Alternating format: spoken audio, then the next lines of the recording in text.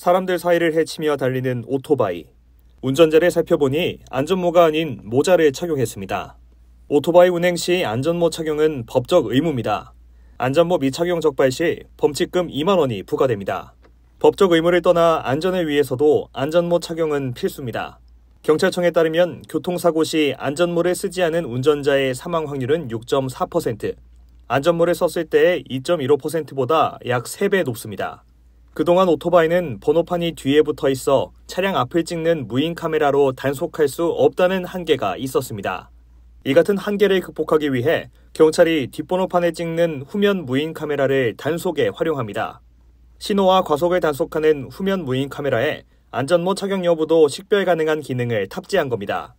경찰은 1년간 시험 운영하며 무인 카메라의 판독 기능을 고도화했습니다. 경찰은 오단속 방지를 위한 대책도 마련했다고 밝혔습니다.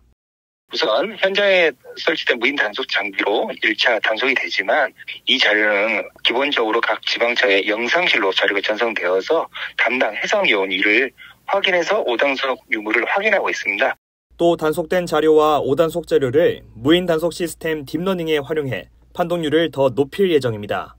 경찰은 전국 73곳에서 계도 기간을 거치는 등 두 달 동안 홍보 활동을 벌인 뒤 오는 3월 1일부터 정식 단속에 돌입합니다.